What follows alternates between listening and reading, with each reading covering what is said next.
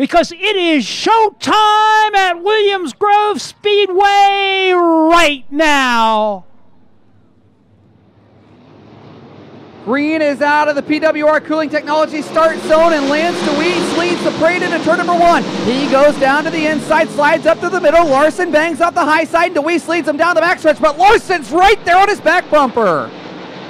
Dewease on the low side. Larson looked good on the top through one and two. He chases him up the front stretch. Dewease carrying that right front wheel into turn number one, goes top side.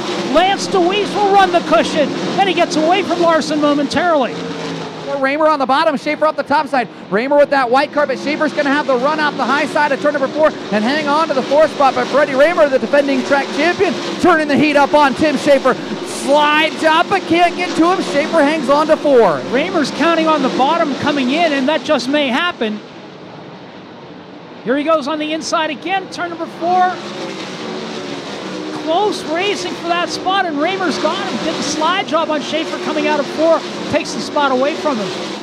Freddie Rahmer still entering on the inside of the racetrack and looking very good. Larson moving in on Dewease in turn number four. Larson tried the bottom and it worked for him. Didn't make the pass, but he is right there.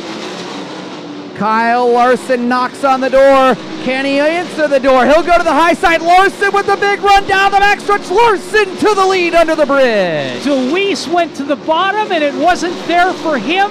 Didn't make a good corner, lost the lead. Now Larson's in traffic.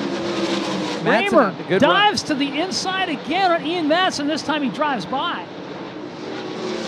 Freddie stayed persistent down on the bottom and he'll get down to the bottom once again. Ian comes down just a little bit. Freddie tries to slide up and close the door. Freddie Rahmer and Ian Madsen nearly come together. Madsen's got to get on the brakes, and Freddie Rahmer into the third spot.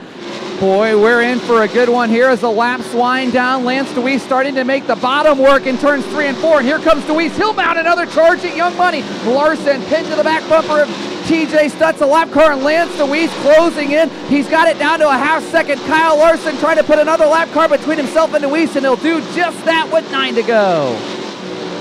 Kyle Larson has not run a sprint car all year long.